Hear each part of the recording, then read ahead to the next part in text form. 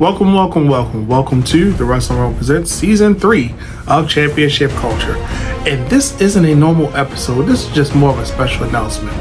So tonight, we have a historic moment when it comes to the WWE. They're changing from, you know, we went from the network to USA, now we're going to the CW network.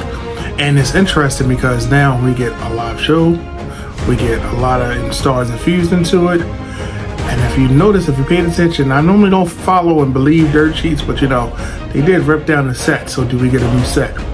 Usually whenever we get a different change or different feel of something, new comes new things.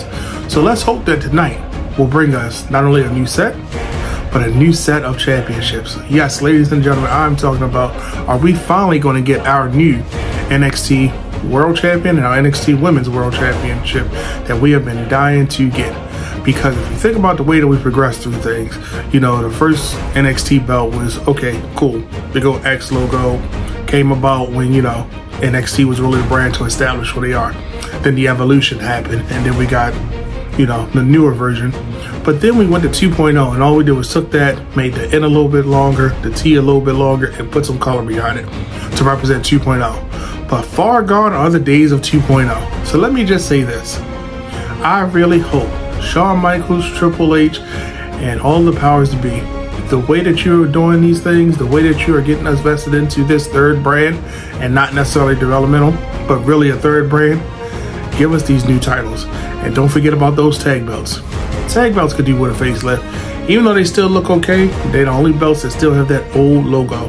When I say the old logo, just the NXT. Because as we know, when 2.0 came, the N got a little longer, T got a little bit longer.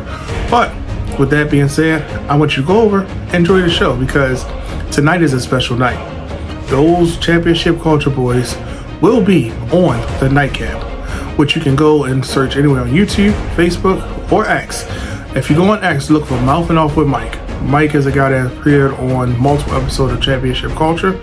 And on the nightcap, we will be talking about NXT. This first episode on the CW. We'll be giving our thoughts, our feelings, our reactions hey, you might even get a reaction from me when they debut these new belts. Who knows? But tune in. Stay close to our social media. You'll see that we'll post a link. You'll see when we go live.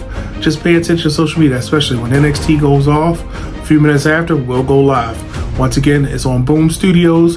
And if you look for Mouthing Off with Mike, you will see myself and brother H to the A to the S to the T to the H to the E to the 3 to the R to the D on the nightcap with Mouthing Off with Mike. And just like I said, don't forget, Every belt has a story, and I can't wait to hear yours.